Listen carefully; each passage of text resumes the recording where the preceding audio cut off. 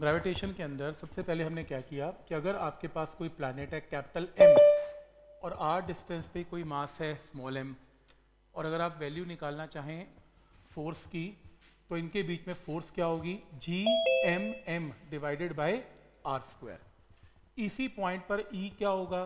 जी planet का mass by R square इसी point पर वी क्या होगा?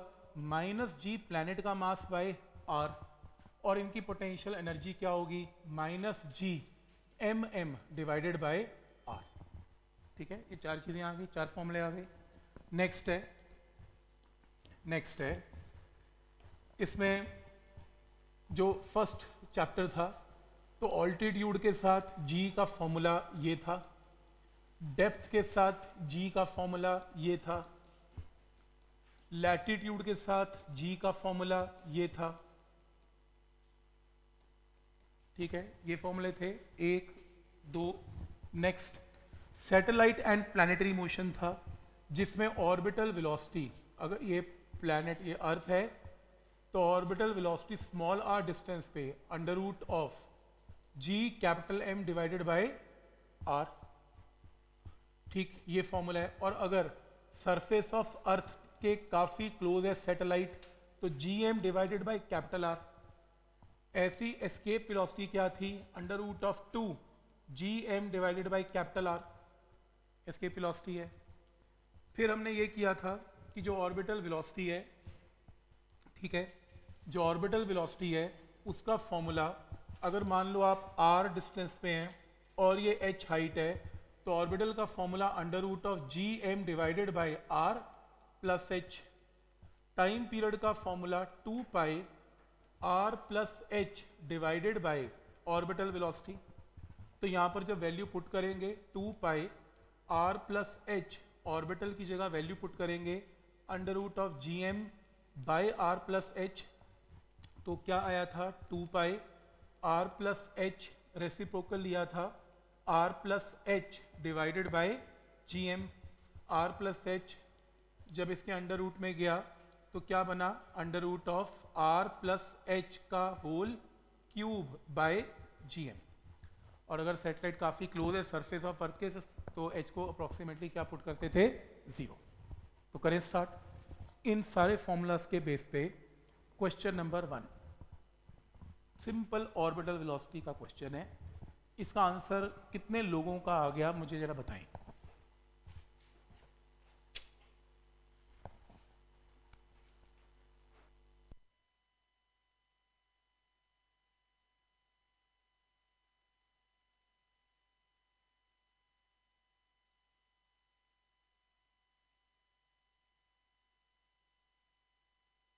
सर सी आर ये आ रहा है सी कैसे आ रहा है? आपने फॉर्मूला क्या यूज़ किया? Under root of G M by R G M by बड़ा आर की छोटा आर सर बड़ा आर सॉरी छोटा आर छोटा आर छोटे आर को 8000 किलोमीटर पुट किया? यस सर कैपिटल एम को क्या पुट किया? सर अर्थ का मास 5.9 अर्थ का मास यस सर पता था आपको? सर वो गूगल से देखा। तो ही तो सोच रहा था मैं कैसे किया। ठीक है, अगर अर्थ का मास नहीं गिवन चलो गूगल भी नहीं है, अब करो। तो कैपिटल जी एम को क्या पुट करेंगे? स्मॉल जी आर स्क्वायर सही। तो आप ऐसा करें इसमें सैटेलाइट में आप इसमें ऐसे करें वेलोसिटी ऑर्बिटल का फॉर्मूला जो है, under root of G M divided by R ये फॉर्मूला यूज़ करें, कोई प्रॉब्लम नहीं है। मास ऑफ़ अर्थ तो पता नहीं है। तो आप इसकी जगह रिप्लेस करें अंडर रूट ऑफ़ अब एक प्रॉब्लम है। यहाँ पर कैपिटल आर नहीं आएगा, क्योंकि सैटेलाइट कहाँ पर है? काफ़ी दूर है। कितनी दूर है? 8000 किलोमीटर। तो ये स्मॉल आर है। तो स्मॉल आर की वैल्यू 8000 हज़ार into ten to power three metres है। कैपिटल जीएम की जगह रिप्लेस क्या करें? स्मॉल जी आर स्क्वायर ये इंपॉर्टेंट है। ये इंपॉर्टेंट है। क्योंकि कई बार लोग फ्लो में क्या करते हैं? ये भी कैपिटल आर ये भी कैपिटल आर करके आंसर निकालते हैं, गड़बड़ हो जाएगी।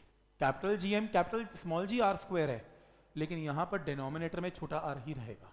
तो छोटा आर क्या है? 8000 किलोमीटर, बड़ा आर क्या है? 6400 किलोमीटर तो यहाँ से सॉल्व करके आंसर कैलकुलेट करें सी ऑप्शन आएगा, बिल्कुल सही है।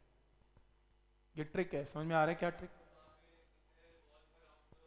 मीटर्स में करने की ज़रूरत ही नहीं है किलोमीटर्स में आंसर मीटर्स में कन्वर्ट करने की ज़रूरत नहीं है किलोमीटर्स में हाँ आंसर किलोमीटर ऑप्शन किलोमीटर कर सकते हो कर सकते हो किलोमीटर में कर लो।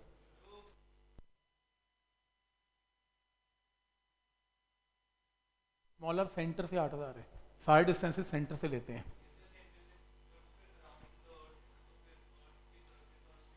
नहीं नहीं नहीं ऐसे है। अराउंड दी अर्थ का मतलब होता है कि अगर ये अर्थ है ये आठ हज़ार है सेटेलाइट यहाँ पर है। सीधा आठ हज़ार है ऐसे है। पॉइंट समझ में आया यहाँ तक कि कैसे इस क्वेश्चन को करना है? नेक्स्ट क्वेश्चन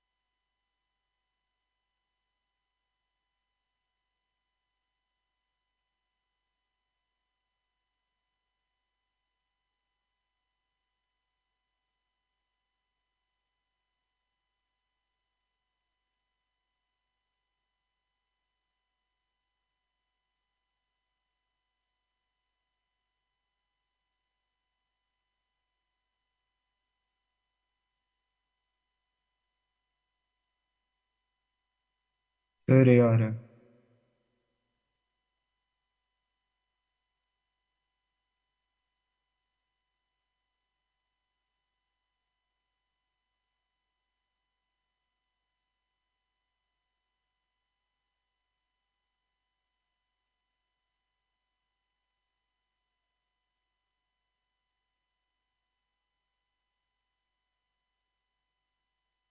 देखो कितने लोगों का आंसर इसमें टी आता है बताओ।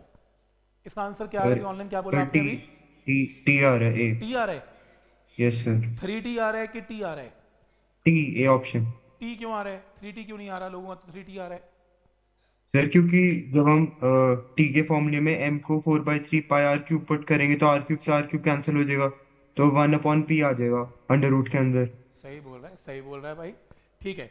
Time period of revolution of nearest satellite around the planet of radius R is T अब वो कह रहा है कि जो सैटेलाइट है ना, वो अर्थ की सरफेस के काफ़ी नज़दीक है। और उसका टाइम पीरियड क्या है? टी है। अब पीरियड ऑफ़ रेवोल्यूशन एक और प्लैनेट का, वही सैटेलाइट और दूसरे प्लैनेट के भी काफ़ी क्लोज है। पर उस प्लैनेट का रेडियस थ्री आर है, और डेंसिटी दोनों की सेम है तो टाइम पीरियड क्या होगा? तो अब अगर आप बात करें टाइम पीरियड की तो ये फॉर्मूला टाइम पीरियड का टाइम पीरियड का फॉर्मूला है। और अगर आप सरफेस ऑफ़ अर्थ के काफ़ी क्लोज हैं तो एच को ऑलमोस्ट क्या पुट करेंगे? ज़ीरो तो टाइम पीरियड का जो फॉर्मूला आएगा, वो आएगा T is equal to two pi under root of capital R cube divided by G M क्या ये स्टेप क्लियर है? तो ये फॉर्मूला लगेगा, ये समझ में आ रहा है?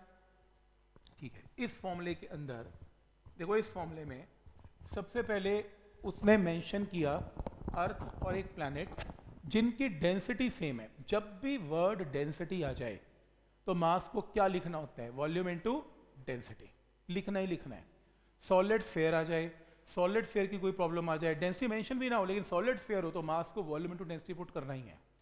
तो इसमें मास इसमें तो मेंशन किया डेंसिटी तो T is equal to two pi under root of capital R cube capital G into mass is volume into density तो ये क्या हो गया? कैंसल तो time period inversely proportional to under root of density time period inversely proportional under root of density तो capital R तो उड़ गया।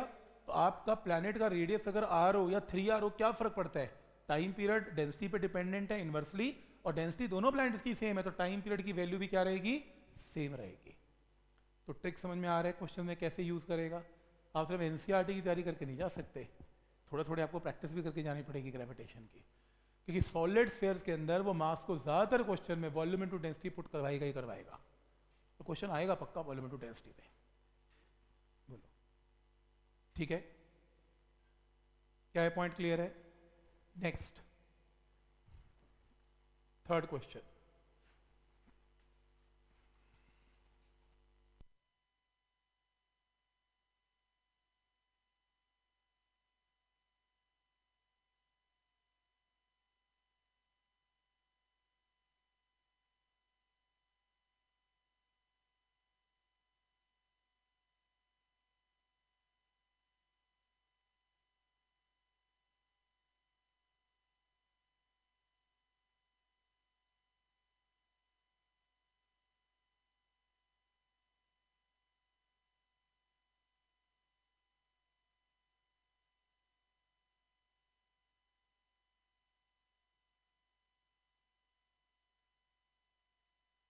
क्वेश्चन में एक नई चीज़ है जो आपको ये सीखने के बाद ही क्वेश्चन हो पाएगा।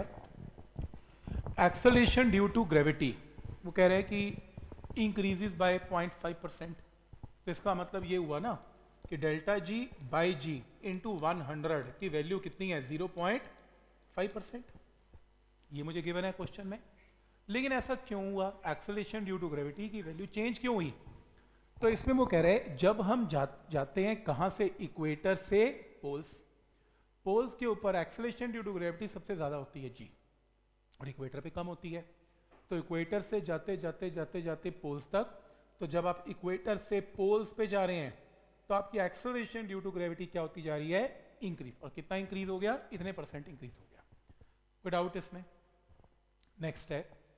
What will be the time period of the pendulum at the equator which beats seconds at a poles? ये seconds at a poles का मतलब क्या है? सिंपल पेंडुलम का जो टाइम पीरियड है, वो क्या है? Two pi under root of L by G तो एक पेंडुलम है जिसको सेकेंड्स पेंडुलम बोलते हैं। तो नोट में लिख लो कि अगर आपको मेंशन में मेंशन किया हुआ है सेकेंड्स पेंडुलम तो सेकेंड्स पेंडुलम का टाइम पीरियड कैपिटल टी हमेशा टू सेकेंड होता है। दो सेकेंड एक सेकेंड जाने का और एक सेकेंड वापस आने का, क्योंकि pendulum to and fro move करता है। तो जाने का एक सेकेंड, आने का एक सेकेंड, एक और एक, दो सेकेंड। तो सेकेंड पेंडुलम का बाई डिफ़ॉल्ट टाइम पीरियड दो सेकेंड होता है। तो पोल पे मूव करने वाला पेंडुलम कौन सा है? सेकेंड पेंडुलम है। तो पोल के ऊपर अगर आप इसे मूव करवाएँगे पेंडुलम को तो जी तो चेंज ही नहीं होगा। पोल में तो जी जी होता है। तो टाइम पीरियड की वैल्यू क्या आएगी पोल्स पे? दो सेकेंड। अब मुझे बताए, जब आप इक्वेटर पे आएँगे, आपका जी बढ़ेगा कि कम होगा? हाँ कम होगा। अगर आपका जी कम होगा तो पोल पे इक्वेटर पे टाइम पीरियड बढ़ेगा तो आंसर दो सेकेंड से ज़्यादा आएगा। पोल्स पे अगर दो सेकेंड है पेंडुलम तो इक्वेटर पे तो ज़्यादा आएगा दो सेकेंड से तो आपका कम से कम आपका आंसर ए और बी तो कभी भी हो नहीं सकता। क्योंकि आपका आंसर दो सेकेंड से तो ज़्यादा आएगा ना। क्योंकि पोल्स पे अगर दो सेकेंड आ रहा है तो इक्वेटर पे आते आते जी तो कम हो गया। जी कम हो गया तो टाइम पीरियड बढ़ गया तो आपका टाइम पीरियड बढ़ गया। टाइम पीरियड बढ़ने का मतलब क्या है? कि दो सेकेंड से, ज़्यादा आना क्या है पॉइंट क्लियर है आता है कोई डाउट इसमें? ठीक। फ्रॉम्स नहीं इक्वेटर से पोल जी बढ़ गया, पर हम पोल से इक्वेटर आ रहे हैं तो कम हो गया। आते हुए कम आ रहे हैं तो टाइम पीरियड बढ़ गया। तो पोल्स पे अगर पेंडलम लेके जा रहे हैं तो टाइम पीरियड दो सेकंड है तो इक्वेटर के ऊपर जी कम हो गया तो टाइम पीरियड बढ़ गया। तो बढ़ने का मतलब है टाइम पीरियड दो सेकंड से ज़्यादा आएगा, ये और भी नहीं होगा। अब क्या होगा, वो कैलकुलेट करें। इसको कैलकुलेट करने के लिए सबसे पहली चीज़ आपको क्या गिवन है? Delta G by G into one hundred की वैल्यू कितनी गिवन है? Zero point five percent given है। क्या पॉइंट क्लियर है? नेक्स्ट है इसमें। टाइम पीरियड का फॉर्मूला होता क्या है? Two pi under root of L by G ये होता है। अगर हम परसेंटेज का रूल लगाएँ एरर वाला रूल लगाएँ तो कांस्टेंट है कांस्टेंट है अंडर रूट का मतलब हाफ़ है। तो ये पॉइंट क्लियर है? Delta T by T is equal to half into delta G by G clear है? कोई डाउट इसमें? ठीक है? तो इसके अंदर डेल्टा टी बाई टी की value delta T by T की वैल्यू कितनी है? One by G into delta G by G की वैल्यू यहाँ से क्या है? 0.5 डिवाइडेड बाय वन हंड्रेड तो पुट कर देते हैं zero point five by one hundred clear है यहाँ तक? अब पहले ये पेंडुलम कहाँ वाइब्रेट कर रहा था? पोल्स पे। और हम पोल्स से कहाँ पर लेके आ रहे हैं पेंडुलम को? इक्वेटर पे, ताकि जी की वैल्यू कम हो जाए। तो जब ये पोल्स पे वाइब्रेट कर रहा था तो उस टाइम पे टाइम पीरियड की वैल्यू कितनी थी? दो सेकेंड क्योंकि पोल्स के ऊपर सेकेंड्स पेंडुलम की तरह काम कर रहा था टाइम पीरियड दो सेकेंड है। दो से दो क्या हो गया? कैंसल तो डेल्टा टी की वैल्यू क्या आ गई? 0.005 तो आपका टाइम पीरियड में चेंज आ गया 0.005 चेंज आया। अब ये चेंज बड़ा या कम हुआ? पोल से इक्वेटर में आने में डेल्टा टी इंक्रीज होगा टाइम में कि कम होगा? पोल से इक्वेटर आने में जी की वैल्यू क्या होती है? कम। तो टाइम पीरियड बढ़ गया। तो इतनी वैल्यू से डेल्टा टी से बढ़ गया। दो सेकेंड तो पहले वाइब्रेट कर रहा था पोल्स पे। तो इक्वेटर पे दो सेकेंड प्लस कितना? पॉइंट ज़ीरो ज़ीरो फाइव बढ़ गया। तो आंसर क्या होगा? डी ऑप्शन होगा। Two point zero zero five is answer method समझ में आ रहा है कि कैसे सोचना है इसमें? कोई डाउट इसमें? ऑनलाइन क्लियर है? Yes sir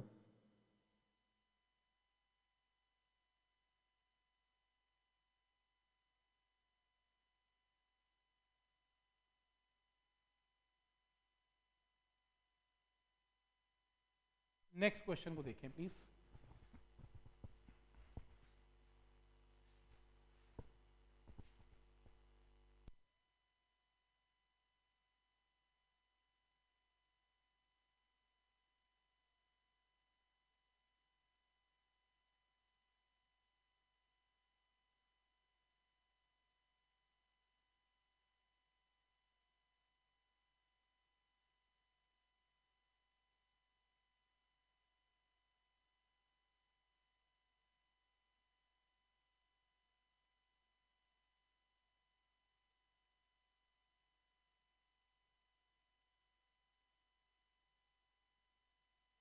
next question competition point of view के लिए इंपॉर्टेंट क्वेश्चन है एनसीईआरटी में नहीं आ सकता ये मतलब मुश्किल है, मैं कह नहीं सकता।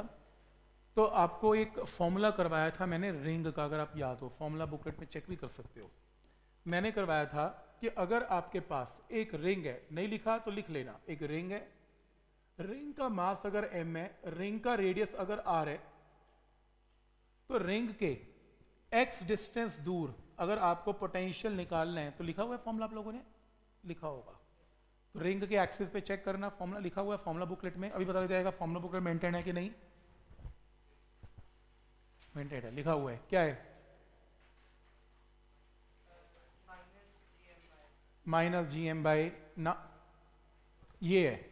ये डिस्टेंस लेना होता है क्या? Under root of R square plus X square तो क्या फॉर्मूला लिखा हुआ है? Minus G M by under root of R square plus X square check कर लो, ये डायग्राम बना होगा फॉर्मूला बुकलेट के अंदर में लिखवाया था ये।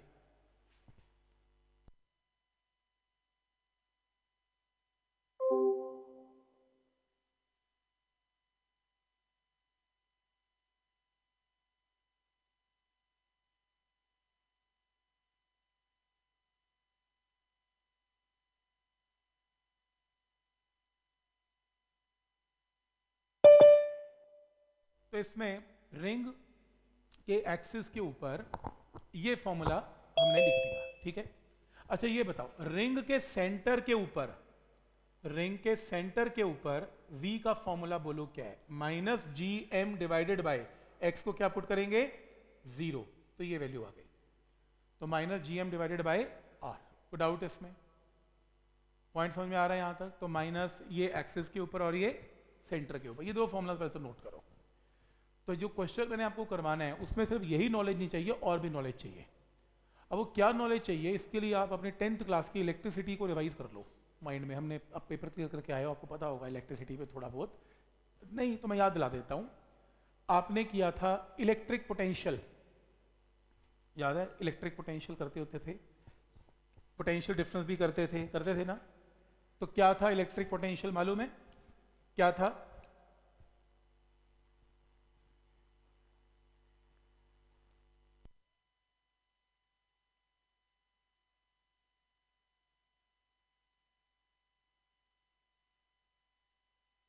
इलेक्ट्रिक पोटेंशियल था कि अगर आपके पास कोई क्यू चार्ज है और आप इनफाइनाइट से यूनिट पॉजिटिव चार्ज को किसी पॉइंट पे लेके आते हैं तो अमाउंट ऑफ़ वर्क डन को हम क्या बोलते हैं? इलेक्ट्रिक पोटेंशियल याद आ रहा है? ऐसा कुछ करवाते थे टीचर कि यूनिट पॉजिटिव चार्ज को उठा के लाने के वर्क डन को इलेक्ट्रिक पोटेंशियल बोलते हैं इन्फिनिटी से लेके आते हैं, ऐसे ही था। अब इमेजिन करो कि कोई स्टूडेंट ये कहता है, जी, मैं तो मुझे भेजा था इन्फिनिटी पे बहुत दूर और मैं प्लस वन चार्ज की जगह मैं तो क्यू चार्ज उठा लाया? मुझे बोला था प्लस वन पर मैं क्यू चार्ज उठा लाया? हाँ तो कोई बात नहीं। अगर आप क्यू चार्ज उठा लाए और आप यहाँ पे पोटेंशियल निकालना चाहते हो तो बस आप मुझे ये बता दो, आपने कितना वर्क डन किया? तो आपने बताया कि क्यू चार्ज को कैरी करने के लिए मुझे वर्क डन कुछ वर्क डन करना पड़ा? तो यूनिट पॉजिटिव चार्ज को कैरी करने के लिए कितना वर्क डन करना पड़ेगा? वर्क डन अपॉन चार्ज इसका नाम क्या है? इलेक्ट्रिक पोटेंशियल डेफिनेशन की होगी आपने work done upon charge potential ये तो याद आ रहा है, देखा लगता है। ठीक है? फिर आपको ये करवाया जाता है कि अगर Q चार्ज है, Q चार्ज के अंदर दो पॉइंट है, एक B पॉइंट है और एक A पॉइंट है। और अगर B पॉइंट और A पॉइंट के बीच में मैं यूनिट पॉजिटिव चार्ज को B से A पे लेके आऊँ तो अमाउंट ऑफ़ वर्कडन मुझे करना पड़ेगा बी से लेके ए तक। जो भी अमाउंट ऑफ़ वर्कडन करना पड़ेगा, इस केस में उसको क्या बोलते हैं? पोटेंशियल का डिफरेंस अगर इन्फिनिटी से लेके आते हैं तो उसको पोटेंशियल बोलते हैं। बी से ए पॉइंट पे लेके आते हैं, उसको पोटेंशियल डिफरेंस बोलते हैं। समझ में आ रहा है यहाँ तक? लेकिन एक स्टूडेंट कहता है, जी प्लस क्यू की जगह मैं तो क्यू चार्ज ले आया। हाँ तो कोई बात नहीं, अगर तो क्यू चार्ज ले आया तो बोल तेरा वर्क डन कितना है? वो कहता है, इतना वर्क डन है। तो यूनिट पॉजिटिव चार्ज को लेके आने का वर्क डन कितना है? इसको किससे डिवाइड करना पड़ेगा? क्यू से। तो ये क्या बन जाएगा? पोटेंशियल का डिफरेंस पोटेंशियल कब बोलते हैं? जब वर्क डन इन्फिनिटी से किसी पॉइंट पर हो। और पोटेंशियल डिफरेंस कब बोलते हैं? जब फाइनाइट डिस्टेंस है फाइनाइट डिस्टेंस का वर्क डन हो। तो डिफरेंस समझ में आ रहा है? तो बेसिकली अगर ये नहीं समझना, कोई बात नहीं, मत समझो। आप ये डेफिनेशन तो जानते हैं पोटेंशियल डिफरेंस ये बस पता होना चाहिए कि जो पोटेंशियल डिफरेंस होता है, वो इलेक्ट्रोस्टैट्स में या इलेक्ट्रिसिटी में होता है। बी पॉइंट से ए पॉइंट पे कैरी करने का वर्क डन को चार्ज से क्या कर देना है? डिवाइड तो ये क्या जाएगा? पोटेंशियल का डिफरेंस क्या ये पॉइंट क्लियर है? अब एक काम करते हैं। हम डेफिनेशन बनाते हैं ग्रेविटेशनल पोटेंशियल की। तो आप अगर मुझे ये पूछते हो कि सर यहाँ पर पोटेंशियल निकालना है और कौन सा ग्रेविटेशनल इलेक्ट्रोस्टैट्स इलेक्ट्रिसिटी बंद कर दो तो ग्रेविटेशनल पोटेंशियल निकालना है तो मैं कहूँगा एक काम करो, आप इन्फिनिटी पे जाओ और यूनिट मास को उठा के इन्फिनिटी से यहाँ पे रख दो। तो अगर आप यूनिट मास को उठा के इन्फिनिटी से यहाँ पे रखोगे अमाउंट ऑफ़ वर्क डन को क्या बोलेंगे इस केस में? ग्रेविटेशनल पोटेंशियल ठीक है? वही सेम डेफिनेशन यूज़ कर रहा हूँ इलेक्ट्रिसिटी वाली सेम लेकिन अगर कोई कहता है, जी मेरे पास एम वन मास नहीं था, मेरे पास तो छोटा एम मास है तो छोटे एम मास को अगर आप यहाँ से यहाँ लेके आते हैं तो वर्क डन इतने तो यूनिट मास को कैरी करने के लिए वर्क डन क्या हो जाएगा, इतना हो जाएगा उसको क्या बोलते हैं? पोटेंशियल। और कौन सा पोटेंशियल? ग्रेविटेशनल का पोटेंशियल। ये तो बिल्कुल सेम हो गया इलेक्ट्रिसिटी की तरह। वर्क डन बाय चार्ज की जगह वर्क डन बाय मास हो गया। तो अगर आप इन्फिनिटी से लेके आ रहे हो, किसी भी मास को और यहाँ पे रख रहे हो, उसको पोटेंशियल बोलते हैं। और मैंने आपको ऐसे नहीं सिखाया था, मैंने आपको पोटेंशियल बताया सिखाया? मैंने कहा पोटेंशियल एनर्जी को मास से डिवाइड कर दो, कि वर्क डन और पोटेंशियल एनर्जी बात एक ही है तो जूल पर केजी पोटेंशियल है, एक ही बात है। तो समझ में आ रहा है यहाँ तक? लेकिन साथ ही ये भी ट्रू है कि अगर आप मान लो ये अर्थ लें अर्थ के अंदर अर्थ के ग्रेविटेशनल फ़ील्ड के अंदर दो पॉइंट लें, एक बी पॉइंट है और एक ए पॉइंट है, ये लो। और आप मान लो स्मॉल एम मास को बी से ए पे लेके आ रहे हैं इन्फिनिटी से लेके नहीं आ रहे बी से ए पे लेके आ रहे हैं तो अगर स्मॉल एम मास को कैरी करने के लिए बी से ए का वर्क डन इतना है तो यूनिट को कैरी करने के लिए वर्क डन कितना है? इतना है। इसको क्या बोलते हैं? Gravitational potential difference gravitational potential difference एक ही बात है। तो अगर बी पॉइंट से ए पॉइंट पे मास को लेके आना है ग्रेविटेशन का पोटेंशियल डिफरेंस और इन्फिनिटी से लेके आना है तो पोटेंशियल कोई डाउट इसमें? पॉइंट समझ में आ रहा है यहाँ तक? क्लियर है? अगर ये नहीं समझ में आया, तब भी कोई दिक्कत नहीं। इतना तो समझ में आ रहा है कि work done in carrying a mass from B to A या A to B M mass को कैरी कर रहे हैं, इसको क्या बोलते हैं? ग्रेविटेशनल पोटेंशियल डिफरेंस प्लीज़ इसे फॉर्मूला बुकलेट में नोट कर लें। इसे फॉर्मूला बुकलेट में नोट करें। कि work done upon small M is equal to potential difference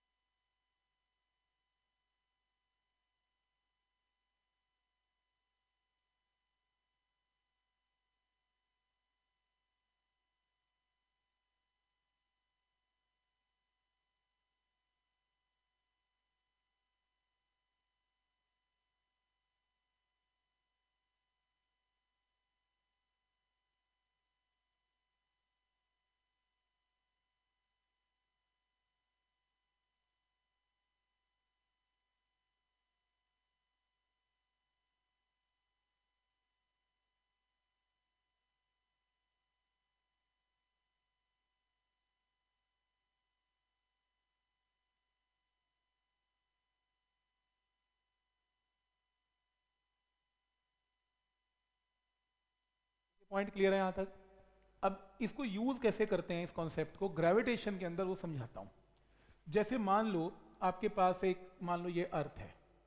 ठीक है, ये अर्थ है। तो अर्थ का कोई मास है कैपिटल एम और लेटर सपोज़ यहाँ से 10 मीटर दूर, जैसे इमेजिन कर रहा हूँ दस अर्थ के लिए 10 मीटर कुछ भी नहीं होता। सिर्फ़ वैल्यू समझाने के लिए। 10 मीटर दूर अगर मैं पूछूँ यहाँ पर पोटेंशियल क्या होगा ए पॉइंट पर तो आप क्या बोलेंगे? Minus G M divided by दस। यही होगा। और अगर मैं पूछूँ कि बी पॉइंट पर पोटेंशियल क्या होगा? बी पॉइंट पर, और बी पॉइंट की दूरी मान लो सेंटर से 15 मीटर है तो बोलो पोटेंशियल क्या होगा? माइनस जी अर्थ का मास अपॉन 15 क्या पॉइंट क्लियर है? ए और बी पॉइंट का पोटेंशियल आ गया। अब क्वेश्चन में सपोज़ आपको ये गिवन है कि आपने कोई थ्री के का मास है, उसको बी से उठा के कहाँ पे रख दिया? ए पे। ऐसा करने में आपको कुछ वर्क डन करना पड़ा। तो कितना वर्क डन करना पड़ा? बी से लेके ए तक। In carrying a mass of three के जिस मास को उठा के रखा जाता है, वो इस वर्क डन के नीचे आता है। और इस मास का अपना कोई पोटेंशियल नहीं होता। ये जैसे वो टेस्ट चार्ज आपने पढ़ा होगा इलेक्ट्रोस्टैट्स में, ये टेस्ट मास है। कोई भी एक ऐसा मास जो पोटेंशियल नहीं लगाता। अर्थ लगा रही है, ये नहीं लगाएगा। तो इज़ इक्वल टू बोलो क्या? डेफिनेशन क्या यूज़ करेंगे? पोटेंशियल का डिफरेंस तो बोलो पोटेंशियल डिफरेंस में क्या पुट करूँ? V A minus V B की V B minus V A V A minus V B कैसे आपने कैलकुलेट करते हैं ये? आपको कैसे पता लगा कि V A minus V B करना है? V B minus V A को नहीं करना? कोई कहता है, बड़े में से छोटा माइनस कर दो, इसलिए। Final minus initial potential difference में ये हमेशा क्या आएगा? फाइनल और ये हमेशा क्या आएगा? इनिशियल क्योंकि बी से ए पे गए तो ए आपका फाइनल पोजीशन है और बी आपकी इनिशियल पोजीशन है। क्या है पॉइंट क्लियर है यहाँ तक? The final potential minus initial potential is work done upon mass तो वी ए वी बी की वैल्यू पुट करके थ्री के जी को मल्टीप्लाई करके you can calculate the value of work done क्या ये बात समझ में आ रही है यहाँ तक? कैसे करना है? कोई डाउट इसमें। ठीक है? तो करें क्वेश्चन सॉल्व तो मेरा क्वेश्चन ये है सपोज़ आपके पास एक रिंग है। रिंग का मास है m1 आपके पास एक और रिंग है, मास है m2 इस रिंग का रेडियस कैपिटल आर है। इस रिंग का रेडियस कैपिटल आर है, ठीक है? और ये भी डिस्टेंस कैपिटल आर है। R R and R given है। ठीक? तो मान लो इस सेंटर का नाम है ए इस सेंटर का नाम है बी तो क्वेश्चन है कि इमेजिन करो, एक पॉइंट मास है इमेजिनरी एम इस मास को आपने इस सेंटर से उठा के इस सेंटर पे रख दिया। ऐसा करने के लिए आपको क्या करना पड़ा? वर्क डन तो वर्क डन कैलकुलेट करके बताओ आपको कितना वर्क डन कैलकुलेट करना पड़ा। स्मॉल एम को उठा के एक पॉइंट से दूसरे पॉइंट पे रखने के लिए।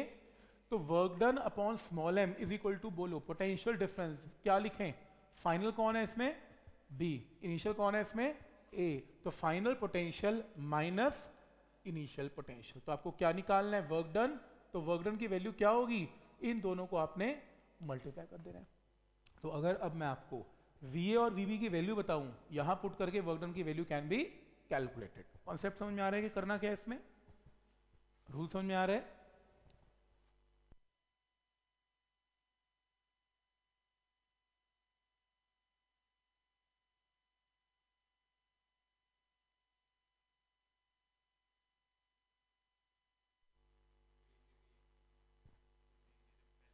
नहीं अब VA की वैल्यू निकाल देंगे। अब वीए की वैल्यू होगी क्या? इसको देखो प्लीज़ बोलो वीए क्या होगा? वीए क्या होगा? यहाँ पर पोटेंशियल कौन लगाएगा? कौन लगाएगा? तो रिंग्स लगाएँगी। कितने रिंग्स हैं? दो। दोनों की दोनों लगाएँगी। जो मास मूव करवाया जा रहा है, वो पोटेंशियल नहीं लगाता कभी भी। वो कभी पोटेंशियल लगाता। तो स्मॉल एम का कभी पोटेंशियल नहीं होगा। जो फिक्स बॉडीज हैं, उनका पोटेंशियल होगा। तो रिंग्स पोटेंशियल लगाएँगे। बोलो फ़र्स्ट रिंग अपने सेंटर पे कितना पोटेंशियल लगाएगी? सेंटर पे फॉर्मूला क्या है? Minus G mass of ring divided by radius R कोई डाउट है इसमें? तो रिंग के सेंटर पे ये पोटेंशियल का फॉर्मूला है, लेकिन ये पहले रिंग का कंट्रीब्यूशन है पोटेंशियल का। एक और रिंग भी तो है, वो भी तो यहाँ पोटेंशियल लगाएगी। तो ये रिंग यहाँ पे क्या पोटेंशियल लगाएगी? अब ये आर है, ये आर है, ये रूट टू आर है। तो M2 वाली रिंग के लिए ये पॉइंट उसका सेंटर थोड़ी ना है। M2 वाली रिंग के लिए ये पॉइंट उसका एक्सिस है। तो एक्सिस पे पोटेंशियल क्या लगता है? Minus G M two divided by root two R ये डिस्टेंस लेना है। समझ में आ रहा है? इस रिंग के लिए पॉइंट सेंटर है तो सेंटर का फॉर्मूला पर उस रिंग के लिए पॉइंट सेंटर नहीं एक्सेस है। तो एक्सेस का फॉर्मूला तो पहली m1 के लिए सेंटर और दूसरी रिंग के लिए एक्सेस कोई डाउट है इसमें? पॉइंट समझ में आ रहा है यहाँ तक? कैसे करना है? ठीक, ऐसी वीबी बोलो क्या होगा? वीबी की वैल्यू अब वीबी ये बी पॉइंट सेकेंड रिंग का सेंटर है तो सेकेंड रिंग का सेंटर में क्या होगा? Minus G M two divided by R minus G M two by R और फ़र्स्ट रिंग के लिए ये पॉइंट क्या है? एक्सेस है. तो क्या आएगा? Minus G M one divided by root two R तो वी ए और वीबी की वैल्यू आ गई. इस वी ए और वीबी की वैल्यू को जरा यहाँ पुट करें और ऑब्जेक्टिव ऑप्शन मार्क करें क्या ऑप्शन आ रहा है। क्योंकि यही क्वेश्चन है वर्क डन निकालना है आपको एक मार्क्स को एक पॉइंट से दूसरे पॉइंट पर कैरी करवाने के लिए। चेक करें ऑब्जेक्टिव अपना और आंसर मार्क करें।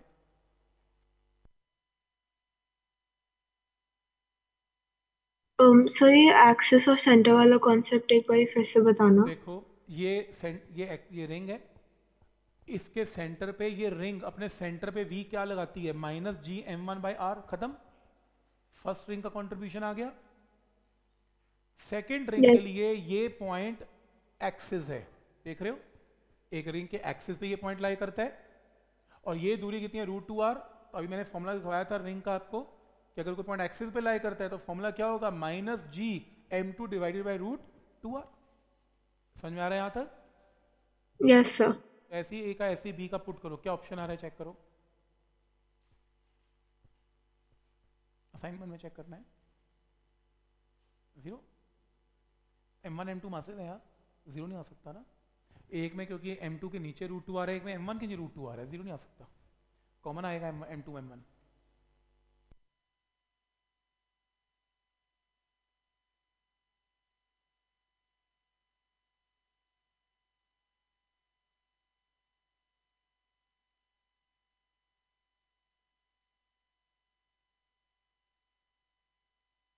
test है ग्रेविटी संडे वाला, वो ऑब्जेक्टिव है।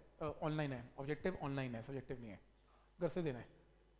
संडे खराब नहीं करेंगे। घर से एक घंटे का टेस्ट दो, आपको लॉगिन आईडी मिल रहे हैं, अभी थोड़ी देर में आ रहे हैं आपके व्हाट्सएप पे। जिसको नहीं मिलेगा, पूछ लेना अभी। अभी छः बजे से पहले पहले आपको व्हाट्सएप करके जाएँगे। आपका टेस्ट का लॉगिन आईडी तो साइट पे जाके ऑनलाइन टेस्ट का ऑप्शन है स्कोर हेड पे। लॉगिन नहीं लॉगिन तो वीडियो लॉगिन है। ऑनलाइन टेस्ट अलग है, मैं फ़ोटो भेजूँगा ग्रुप पे। तो उसमें आपको टेस्ट देना है ग्रेविटेशन टाइमिंग तो एक घंटा कोई भी निकाल के दे देना, उसमें कोई चक्कर नहीं। हाँ वो तो खत्म कर देना आपको तो। टाइमिंग वैसे मैं फिक्स कर दूँगा, दो घंटे का स्लॉट लगा दूँगा, उसमें जमर दे देना दो तीन घंटे में। दस से दो के बीच में कभी भी दे देना मतलब कि।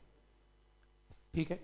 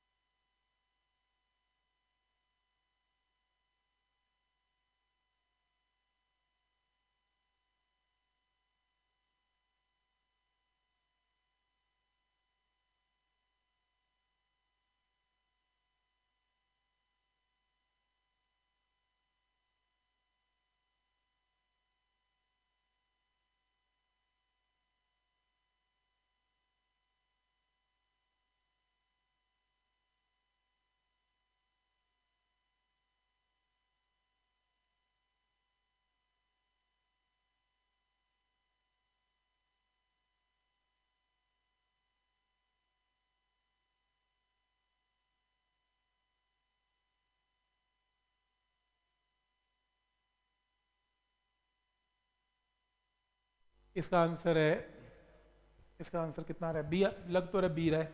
मतलब देखने में लग रहा है एम वन एम टू में माइनस आएगा, मुझे पता नहीं, इसका आंसर। हाँ हाँ डिनोमिनेटर रूट टू आ रहा है, बात करते तो कर क्यों रहे हैं यार, हो तो क्या? ठीक है next fifth B B fifth में सैटेलाइट जिसका मास एम है? Is placed at a distance of R from the centre of the Earth mechanical energy of a satellite क्या होगी? तो मैकेनिकल एनर्जी होती क्या sum of potential and kinetic तो minus G M M by two R total energy को बोलते हैं। Next six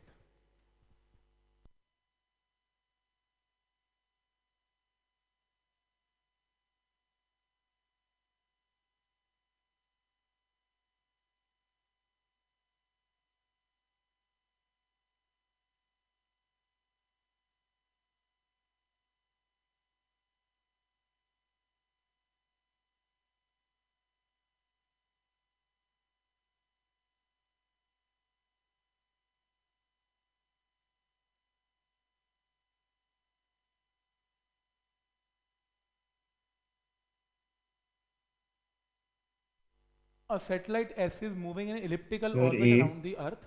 Mass of the satellite is very small compared to the mass of the Earth. तो A option है acceleration of S is always directed toward the centre of the Earth बिल्कुल सही है क्योंकि satellite centre में circle में घूम रहा है और सर्कल में घूमने के लिए कौन सी फोर्स चाहिए सेंट्रीपिटल जो कनेक्ट करती है टुवर्ड्स सेंटर लेकिन एक और कंफ्यूजन होती है बी ऑप्शन में बी ऑप्शन है angular momentum of a satellite of earth changes in direction, but its magnitude remains constant. जब भी कोई planet गोल घूमेगा सन के आसपास या सैटेलाइट घूमेगी अर्थ के आसपास, उसका एम वी आर हमेशा कांस्टेंट होता है।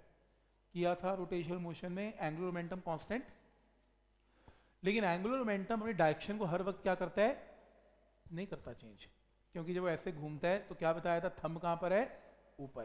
तो एल हमेशा कांस्टेंट होता है। तो डायरेक्शन चेंज नहीं करता एम का मैग्नीट्यूड रिमेन्स ठीक है? तो इसलिए ए ऑप्शन बेस्ट ऑप्शन है इसका। तो बी नहीं करेंगे क्योंकि बी वो कह रहा है कि एंगुलर मोमेंटम जो है जो चेंज होता है नहीं चेंज नहीं होता एंगुलर मोमेंटम कांस्टेंट होता है। सेवंथ का सी है।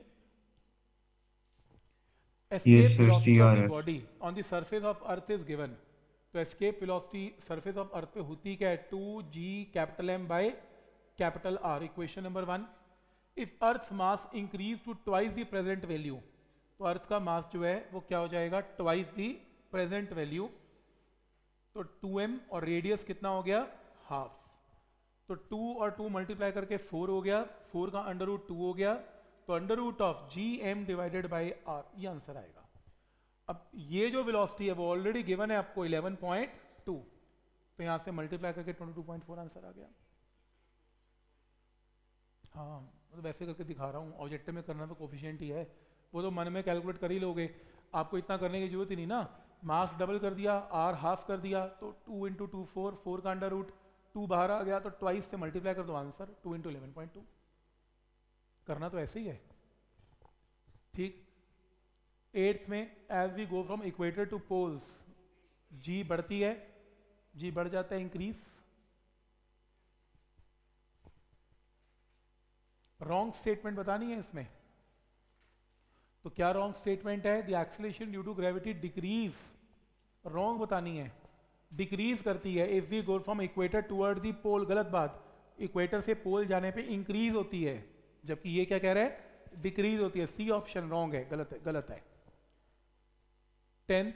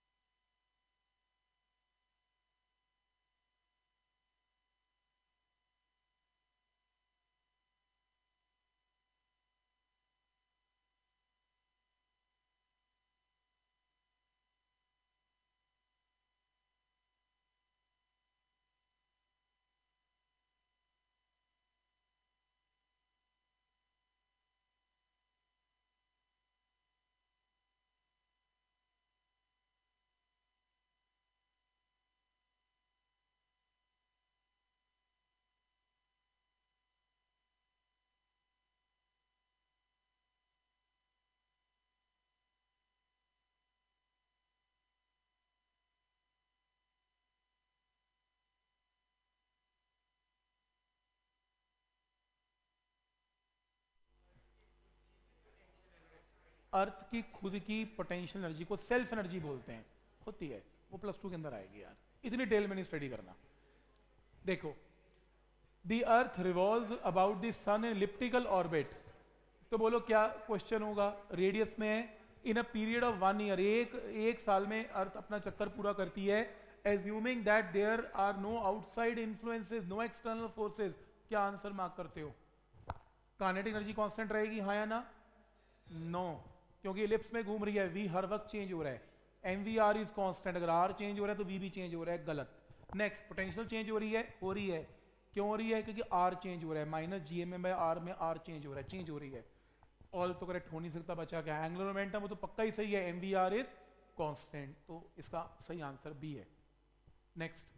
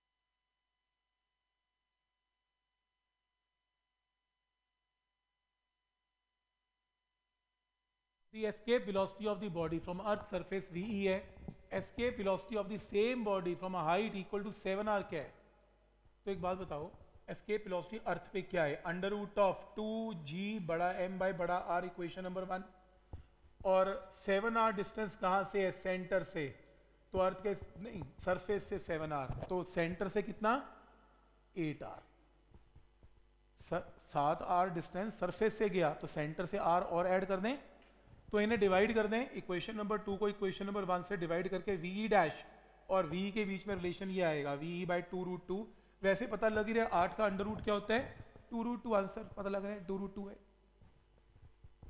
ठीक है यहाँ तक? नेक्स्ट ट्वेल्थ का ग्राफ क्या बनेगा? सी बनेगा। ठीक लग रहा है? क्या लगाया? Kepler's third law T square proportional to R cube अब इसमें वाई एक्सिस में कौन है? टी स्क्वायर एक्स एक्सिस में कौन है? आर क्यूब जब वाई प्रपोर्शनल टू एक्स है तो graph is a straight line passing from origin C option मान लो एक्स और वाई के बीच में ग्राफ बनना है तो एक्स प्रपोर्शनल टू वाई तो स्ट्रेट लाइन है तो यानी कि T square proportional to R cube में स्ट्रेट लाइन है. डाउट इसमें. नेक्स्ट थर्टीन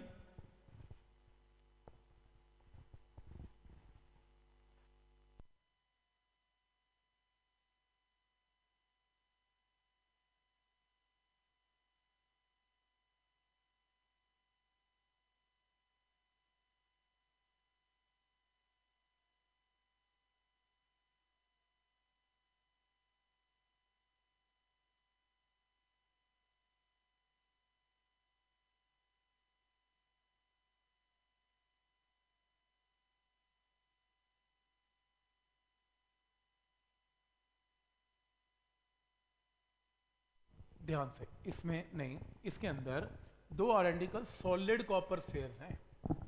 देखो, मैंने आपको ये बताया आपको कि जब भी सॉलिड वर्ड आएगा ना तो उसके अंदर जैसे सॉलिड कॉपर स्फेयर्स है, ये ऐसे पड़े हुए हैं कॉन्टैक्ट में।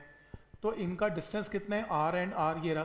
तो दोनों सेंटर में डिस्टेंस कितना है? टू आर तो इनके अंदर जो फोर्स होगी, वो क्या होगी? G into M into M divided by two R का स्क्वायर तो काफ़ी लोग बोल रहे हैं कि आर की पावर टू नहीं, गलत है। तो क्योंकि ये सॉलिड स्फेयर है सॉलिड स्फेयर किसी मटेरियल के बने होंगे, याद रखना। तो आपको डेंसिटी का कॉन्सेप्ट तो यूज़ करना है। तो आप कहोगे, पहले तो किया नहीं, क्योंकि हम लेते ही पॉइंट मास थे। पॉइंट मास में डेंसिटी कहाँ से आ गई? पॉइंट मास तो पॉइंट ही है। उसकी, उसमें वॉल्यूम टू डेंसिटी थोड़ा करते हैं। सॉलिड स्फेयर सॉलिड है। सॉलिड के अंदर हम क्या करेंगे? जी वॉल्यूम मास की जगह four by three pi R cube into density और सेकेंड के लिए four by three pi R cube into density divided by four R का स्क्वायर तो ये आर की power six by R square cut गया तो four directly proportional to R की power four answer solid sphere में लगेगा पॉइंट मास में नहीं लगेगा ये. सॉलिड स्फीयर में ऐसा लगेगा, आपको मास को वॉल्यूम टू डेंसिटी पुट करना है. फिर सॉलिड स्फीयर नहीं प्लैनेट्स के अंदर भी लगता है, क्योंकि प्लैनेट भी सॉलिड स्फीयर ही होते हैं. तो डेंसिटी वाला कॉन्सेप्ट उनमें लगता है. नॉर्मल ना शेल में लगता है, ना पॉइंट मास में लगता है, सिर्फ़ सॉलिड सेल्स में लगता है। Next 14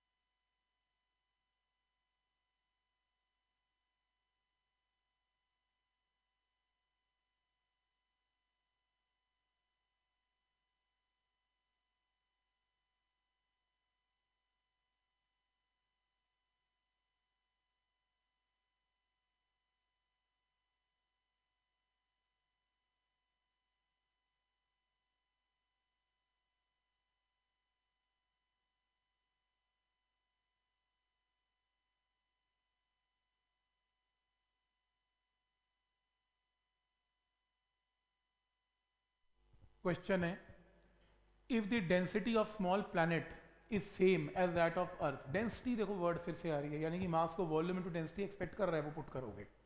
While radius of the planet is 0.2 time that of Earth gravitational acceleration क्या होगी? अब देखो नॉर्मल में क्या करेंगे लोग? नॉर्मल में इसमें अगर मैं ना, हम ये ना प्रैक्टिस करते तो काफ़ी लोग ऐसे करते G is equal to G M by R का स्क्वायर बात खत्म G inversely to R square गलत। इसके अंदर क्या करना पड़ेगा? उसने डेंसिटी की बात की, वैसे भी सॉलिड है तो इसके अंदर ये आपको पुट करना ही पड़ेगा।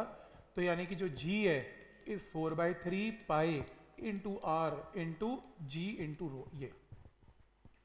तो अब आपने क्या करना है? एक बार ये अर्थ के लिए लगाना है, एक बार ये प्लैनेट के लिए लगाना है जी प्लैनेट के लिए लगाना है।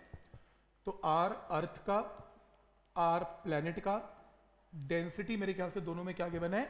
सेम अब कई क्वेश्चन में डेंसिटी भी डिफरेंट गिवन होती है। डिफरेंट है तो ले लेना, नहीं है तो ऐसे। ही तो आपको ये गिवन है कि प्लैनेट का रेडियस पता नहीं zero point two times Earth का रेडियस है। तो पुट कर लेना यहाँ से जी की रेशो आएगी।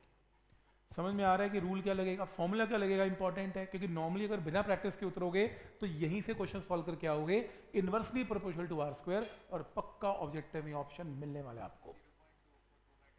0.2 को 0.04 कर देना। तो ऐसे कर लेना। आंसर नहीं आ रहा, क्या चेक करना है इसका? मैं चेक करता हूँ।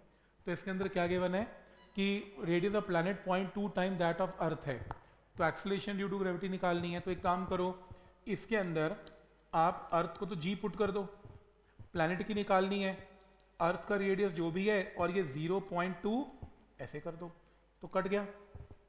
ठीक है? तो यहाँ से प्लैनेट के ऊपर जो जी की वैल्यू है 0.2 point two into G cross multiply ऐसा आंसर है? आंसर आ गया? क्रॉस मल्टीप्लाई ठीक है यहाँ तक, कोई डाउट इसमें?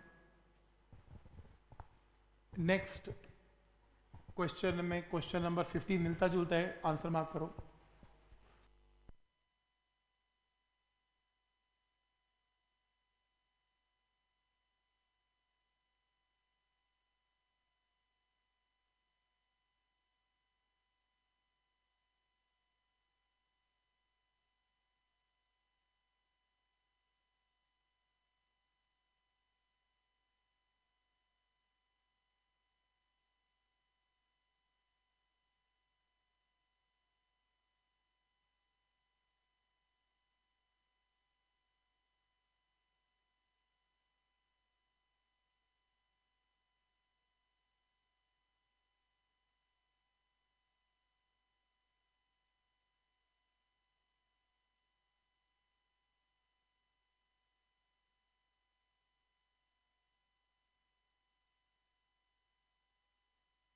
तो क्वेश्चन है acceleration due to gravity on moon is one six of acceleration due to gravity on Earth ratio of density is given है, और radius of moon in terms of radius of Earth निकालना है। Same concept लगेगा बिल्कुल। तो यहाँ तक तो मेरे ख्याल से पॉइंट क्लियर है सेम है। क्योंकि प्लानट की बात हो रही है तो जी इस तरीके से लगेगा। तो इसमें एक बार ये इक्वेशन मून के लिए, एक बार अर्थ के लिए रेडियस मून का डेंसिटी मून की रेडियस अर्थ का डेंसिटी अर्थ की। ठीक है, ऐसे। तो आपको इस क्वेश्चन में रेडियस की रेशियो गिवन है, आपको इसमें ये गिवन है, आपको जी की रेशियो निकालनी आंसर मेथड समझ में आ रहा है कि कैसे करेंगे इसमें? नेक्स्ट ग्रेविटेशनल फ़ील्ड क्या है?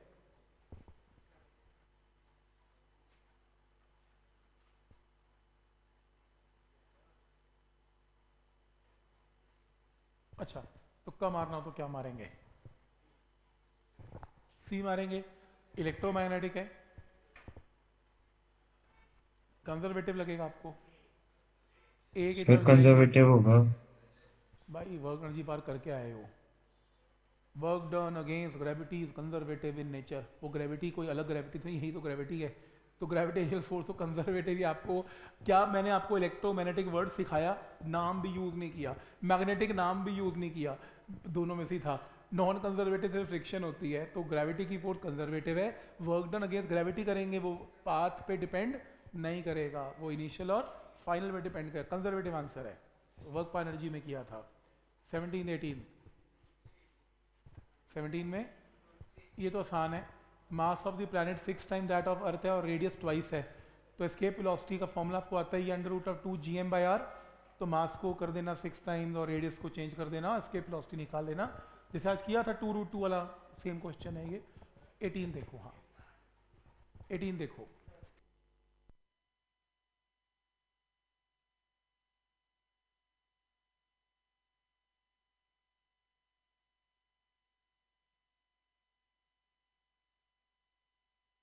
देखो, इसके अंदर आपको क्या क्वेश्चन में गिवन है? Acceleration due to gravity maximum कब है? देखो, इन तीनों में से बताना है। सेंटर पे तो ज़ीरो होती है, इसको तो छोड़ ही दो। तो acceleration due to gravity surface of Earth पे अगर जी है तो हाइट पे जाके भी कम हो जाएगी और डेप्थ पे जाके भी कम हो जाएगी। तो बचा क्या? Surface of Earth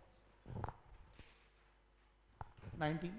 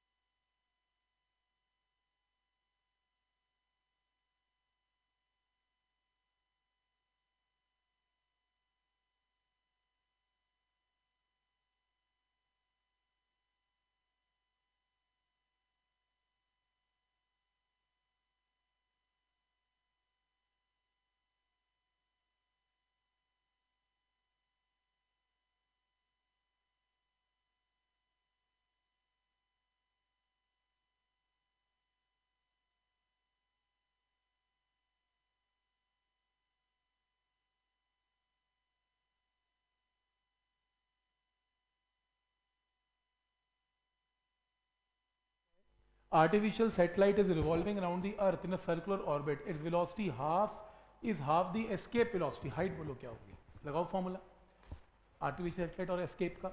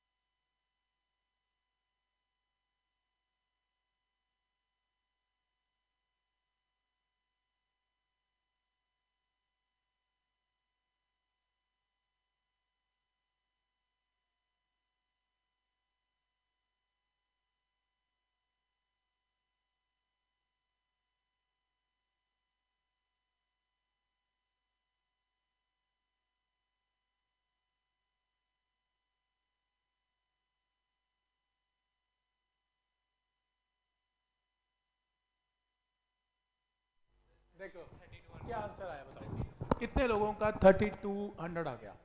आया थर्टी ठीक है मुझे पता नहीं इसका आंसर क्या है वैसे। सिक्सटी? तो 6400 आ रहा है। देता हूँ इसका आंसर ऑनलाइन किसी का आ रहा है? क्या आंसर आ रहा है? तो 6400 आ रहा है। Sixty four hundred okay. Method check कर लें।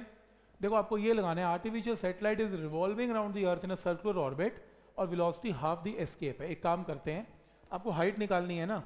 तो आप एक काम करो हाँ तो आप पहले ऑर्बिटल बोलो फॉर्मूला क्या लगेगा ऑर्बिटल का? टू नहीं G M divided by R plus H ये ऑर्बिटल है। Is half the escape escape का फॉर्मूला क्या है? Under root of two G M by R इसे प्लीज़ स्क्वेयरिंग कर लें और एच की वैल्यू निकाल लें आंसर आएगा। 64 समथिंग आएगा। ऐसे आएगा। समझ में आ रहा है क्या करना है इसमें? यही तो कंफ्यूजन है, क्योंकि ऑर्बिटल में आर प्लस एच आएगा, तभी तो हाइट आएगी। और एस्केप में सिर्फ़ कैपिटल आर आएगा क्या स्टेप क्लियर है यहाँ तक? कोई डाउट इसमें। नहीं स्मॉल आर लेंगे फिर आर को माइनस करना पड़ेगा। सरफेस से निकालनी है ना हाइट सेंटर से निकालनी इसलिए। तो नेक्स्ट क्वेश्चन के अंदर ट्वेंटी में क्या आया? ट्वेंटी में satellite moves in a circle around the Earth the radius of the circle is equal to one half of the radius of the moon's orbit. Satellite completes one revolution in. तो इस case में सबसे पहले आपको क्या करना है? Satellite का टाइम पीरियड का फॉर्मूला में लिखवाया था आज। क्या था? चेक करना। हाँ टू पाई ना, ये नहीं था। जी एम डिवाइडेड बाई क्या था?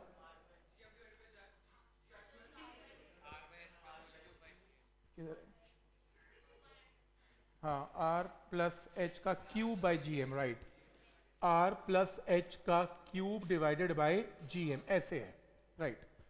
सबसे पहले क्या करना है? मून देखो मून जो है, वो अर्थ की नेचुरल सेटेलाइट है, ठीक है? तो इस केस में मून के लिए टाइम पीरियड क्या होगा? Two pi under root of R plus moon की हाइट अगर एच है divided by G M equation number one clear अब वो कह रहे हैं, जो एक्चुअल सैटेलाइट है, जो सैटेलाइट है, जो मून नहीं है उसके लिए टाइम पीरियड का formula under root of R plus H कितने है उसका? H by two H by two क्योंकि वो हाफ़ डिस्टेंस पे है। क्या पॉइंट क्लियर है यहाँ तक? अब मून जो है, वो एक चक्कर जो काटता है, उसको जो टाइम पीरियड होता है, वो क्या होता है? मून का टाइम पीरियड होता है वन लूनार मंथ तो गिवन है ये।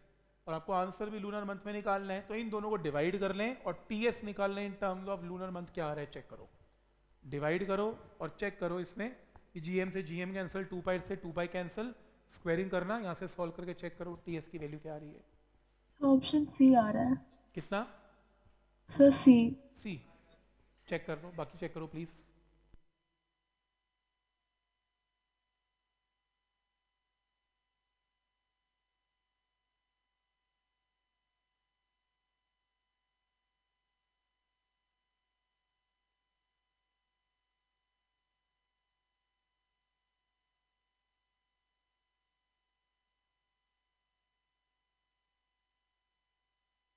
टू को वन से डिवाइड कर दो तो टी एस आएगा इन टर्म्स ऑफ़ मून का तो लूनर मंथ है।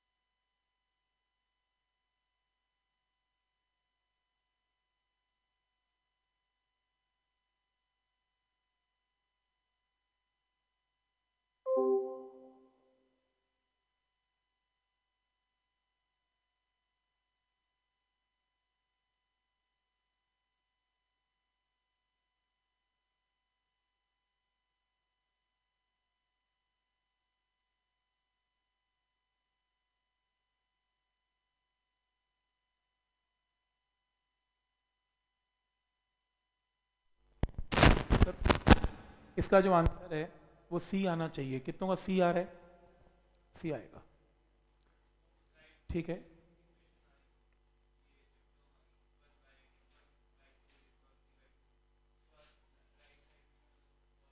वो लूनर मंथ ही मल्टीप्लाई कर देना वन से।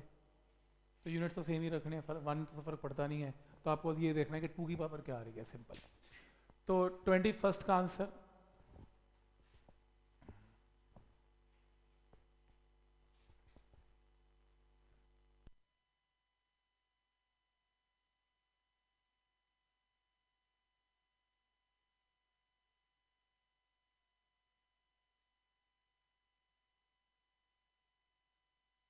ट्वेंटी में ऐसे करना है ना, जैसे इसको डिवाइड कर लो। तो डिवाइड करके क्या आएगा? T S by one lunar month one put कर दो। इसको ऐसे डिवाइड करेंगे तो क्या बचेगा? R plus H by two का cube divided by R plus H का क्यूब ऐसे। स्क्वेयरिंग कर लेना, है ना? तो यहाँ से आपके स्क्वेयरिंग की ज़रूरत ही नहीं है वैसे तो। आपको यहाँ से जो वैल्यू जो गिवन है वो कितनी गिवन है? एच और एच बाई टू एच को कैसे एलिमिनेट किया आप लोगों ने? एच को एलिमिनेशन कैसे की इसकी?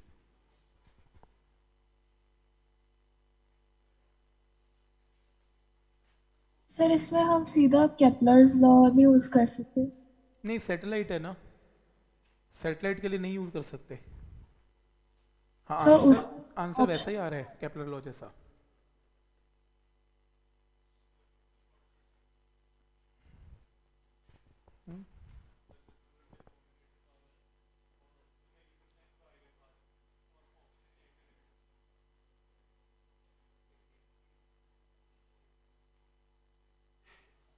देखो एच तो सॉल्व नहीं कर पाएँगे इसमें हम।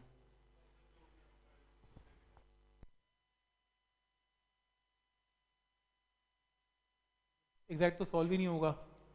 तो ये, इस क्वेश्चन के अंदर यही करना पड़ेगा कि ये थ्री है और ये टू है। अंडर का टू आना ही आना है हाफ़ थ्री बाई टू की फॉर्म में आंसर आना ही आना है। तो थ्री बाई टू की फॉर्म में ही कुछ ना कुछ मार्क करना पड़ेगा इसमें। अदरवाइज़ तो आंसर आ ही नहीं सकता इसमें।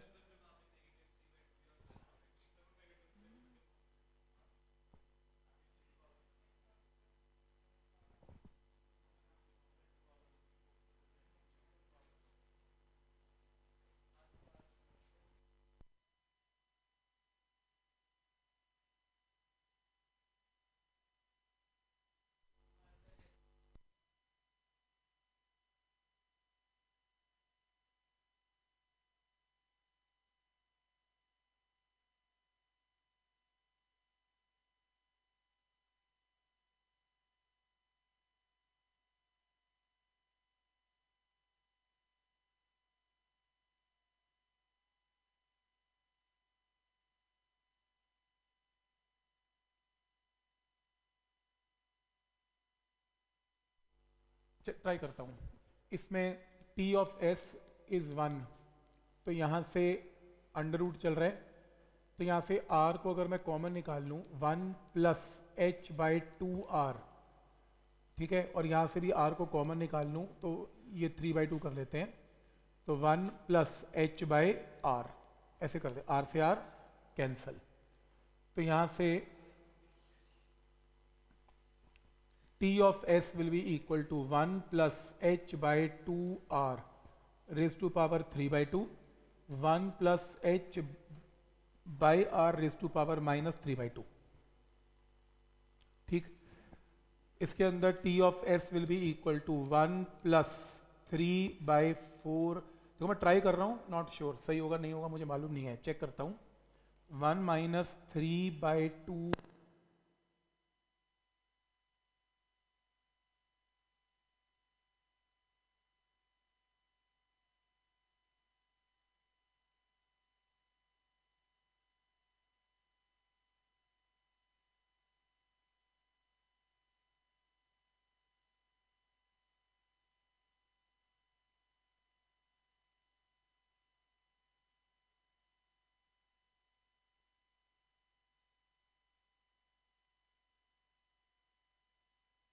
तो देखो, इसमें बाइनोमियल से नहीं आएगा आंसर क्योंकि थ्री बाई टू की पावर हमें निकालनी है इसमें। तो ये मत करना, ये नहीं करना, इसमें नहीं बात बनेगी इसमें। देखो, इसको अंदाजे से मार्क करना पड़ेगा फिर अपने को अभी तो। वैसे यहाँ से एक चीज़ तो क्लियर है कि ये वाला जो डिस्टेंस है वो छोटा है और ये बड़ा है। ऊपर वाला न्यूमिनेटर छोटा है और डिनोमिनेटर बड़ा है।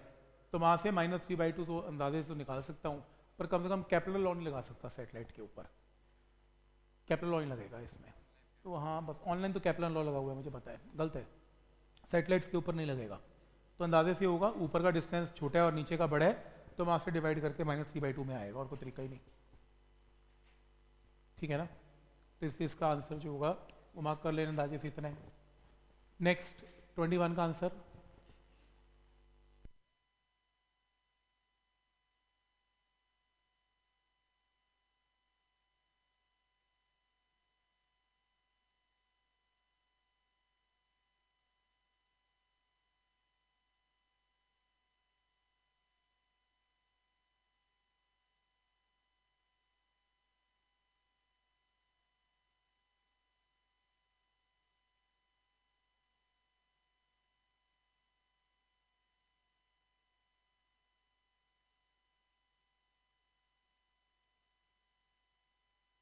देखो क्या करेंगे? ट्वेंटी फ़र्स्ट में कोई बताएगा? एनर्जी कंजर्वेशन बिल्कुल सही। कैसे? बॉडी को रिलीज़ कर रहे हैं और बॉडी को जो रिलीज़ कर रहे हैं, उसकी डिस्टेंस की वैल्यू क्या है? स्मॉल आर कहाँ से? सेंटर से इंपॉर्टेंट है। सरफेस से नहीं सेंटर से डिस्टेंस स्मॉल आर है। तो जब वो अर्थ पे गिरेगी तो उसकी वेलोसिटी की वैल्यू क्या है? ये आपको निकालनी है। तो इस क्वेश्चन के अंदर ये ये केस बनेगा। ये स्मॉल आर है बॉडी यहाँ से चली तो यहाँ पर कानेटिक की वैल्यू बोलो क्या है? ज़ीरो पोटेंशियल की वैल्यू यहाँ पर क्या होगी? ये बॉडी स्मॉल एम है और ये कैपिटल एम है तो minus G M M divided by small R surface of earth पे पोटेंशियल क्या बनेगा? Minus G M M by capital R और कानेटिक क्या बनेगा? हाफ़ एम वी स्क्वायर इन्हें इक्वेट करते हैं। तो इक्वेट करते हुए minus G M M by small R minus G M M by capital R plus half into small M into V का स्क्वायर वी का square small M small M small M cancel check करो जरा V answer क्या आ रहा है? One by small R minus one by capital R LCM लेके answer आ रहा होगा. डी ऑप्शन आ रहा है क्या? डी आ रहा है. दिख ही रहा है वैसे तो मेरे ख्याल से डी ऑप्शन इसको सॉल्व करके अगर आप देखो, एक छोटा आ रहा है, एक बड़ा आ रहा है तो या सी या डी में से बनने वाला है, जो भी बनेगा तो सॉल्व तो करना ही पड़ेगा इसे। सी बन रहा है? डी बन रहा है?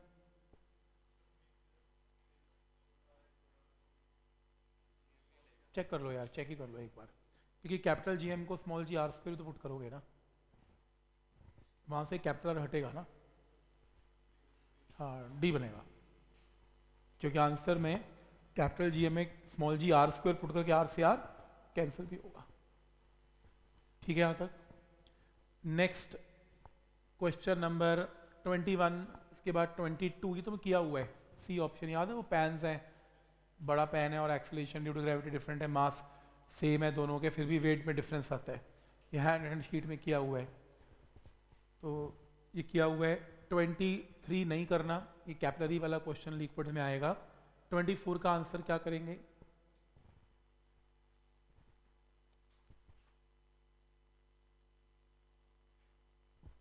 तो half M V square use करके वी हाँ को एस्केप वेलोसिटी एनर्जी हाँ क्योंकि हमने इसको कहाँ भेजना है? मास को इन्फिनिटी तो काइनेटिक एनर्जी का फॉर्मूला क्या होगा? हाफ़ एम वी स्क्वायर और वेलोसिटी क्या पुट करेंगे? Escape under root of two G M by R और कैपिटल जी एम को पुट करेंगे स्मॉल जी आर स्क्वायर तो आंसर आएगा। तो एस्केप वेलोसिटी पुट कर लेना काइनेटिक एनर्जी में half M V square answer आएगा। एस्केप करवाना है तो एस्केप की एनर्जी चाहिए। इसके अंदर ratio of radii of earth to another planet given है डेंसिटी गिवन है। Astronaut can jump to a maximum height of 1.5 metre earth के ऊपर। सेम एफर्ट से वो कितनी हाइट अटेन करेगा प्लानट पे। तो ऐसे क्वेश्चन कैसे करते थे? अगर जैसे मान लो मून की acceleration due to gravity earth से वन सिक्स है। तो जो बंदा अर्थ पे वन मीटर जंप करता है वो मून पे छः गुना ज़्यादा जंप करता है। तो आपके पास आप इसको ऐसे भी प्रूव कर सकते हो S is equal to zero plus half G T square और मून के ऊपर S dash is zero plus half G by six into T square तो वहाँ से ऑब्वियसली आप डिवाइड करके डिस्प्लेसमेंट की ratio in terms of acceleration to gravity निकाल सकते हो। पर प्रॉब्लम ये है कि सबसे पहले आपको क्या निकालना पड़ेगा? Ratio of acceleration due to gravity तो वो आप निकाल लोगे इसमें।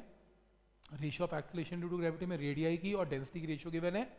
तो मास को क्या पुट करना पड़ेगा? वॉल्यूम इनटू डेंसिटी तब आएगा आंसर सही। तो क्योंकि अर्थ है प्लैनेट है तो मास को मास ले, लेने की बजाय आप क्या पुट करेंगे? इसमें या तो मास की रेशियो गिवन हो लेकिन अगर डेंसिटी की रेशियो गिवन है फिर तो पक्का मास को पुट करना पड़ेगा वॉल्यूम इनटू डेंसिटी ठीक है यहाँ तक मीन डेंसिटी और डेंसिटी एवरेज डेंसिटी होती है एक ही बात है। तो नेक्स्ट है there are two planets ratio of radius of two planets given है k but ratio of acceleration due to gravity both planet है g ratio of acceleration due to gravity g ये g planet की acceleration due to gravity नहीं है ratio है दो planets की g1 by g2 what will be the ratio of escape velocity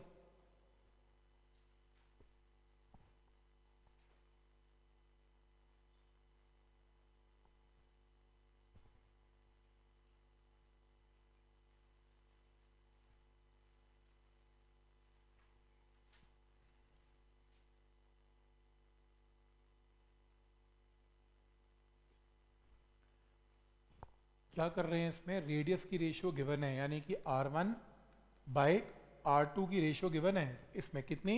के और एक्सलरेशन ड्यू टू ग्रेविटी की रेशियो भी गिवन है कितनी? जी एस्केप वेलोसिटी का फॉर्मूला लगा लो। क्या लगाएँगे? V is equal to under root of two G R ये लगाएँगे? आंसर आएगा। ओके एच का एडजस्टमेंट कैसे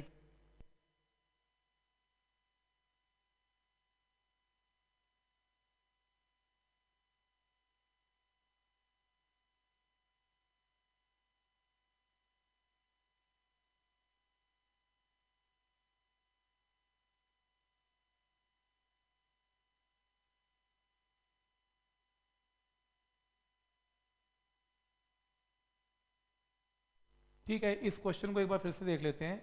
जैसे भी डिस्कस कर रहे थे, जो आंसर नहीं आ रहा था उसमें, कि कौन सा क्वेश्चन था? वेलोसिटी टाइम पीरियड वाला क्वेश्चन था। तो टाइम पीरियड का क्वेश्चन जो एक बार वो मून के लिए था मून का फॉर्मूला क्या था? Under root of two M divided by कितना था? आर प्लस एच तो आर प्लस एच को क्या पुट कर दिया? सीधा डिस्टेंस ले लिया, यहाँ से कितना? आर आर प्लस एच को आर ही ले लिया। तो आर का क्या है? Cube divided by G M सही है? और दूसरे केस में क्या ले लिया? जो सैटेलाइट है two pi under root of R by two का whole cube by G M हाँ अब आ जाएगा। फिर एलिमिनेट करने का प्रॉब्लम ही नहीं है इसमें। ठीक है, ऐसे कर लो। सेंटर से ही डिस्टेंस गिवन है सेंटर से निकाल। पर कैपलर लॉ मत लगाना। ठीक है स्मॉल आर की जगह आर बाई टू कर दिया डन हो गया।